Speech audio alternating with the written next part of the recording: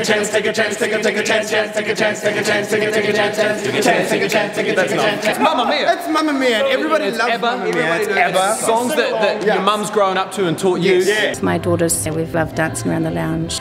I grew up with ABBA and I've got all of the records.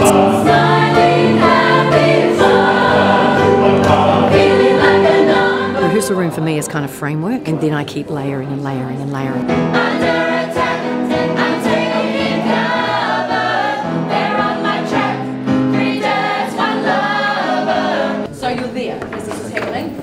That gets turned. So far, the favourite number for me would probably be Voulez-Vous. The boys are back. People everywhere, sense of expectation hanging in the air.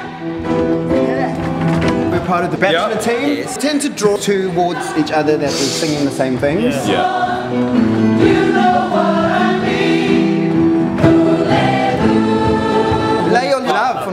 on me. Love. This is the one where we have flippers and board shorts and other things.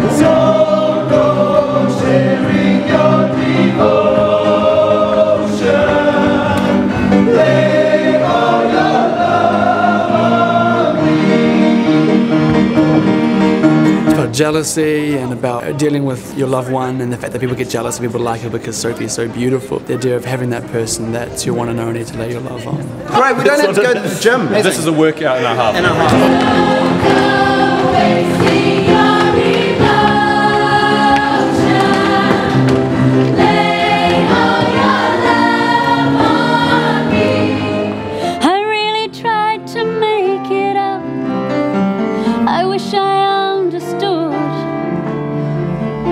What happened to our love. It used to be so good. I think I like SOS because it's with both Sam and Donna um, expressing their frustration with each other. When you're gone, how can I even try to go on? And I want to be with you, but I can't because every time we get together, we just fight. That kind of that that, that tension. Darling, The first show that I ever did for Wellington Music Theatre was back in the 80s. It's really cool after doing all this work all over the world to be back in Wellington to be working with this really cool cast. Just one look and I can hear a bell ring. One more look and I forget everything.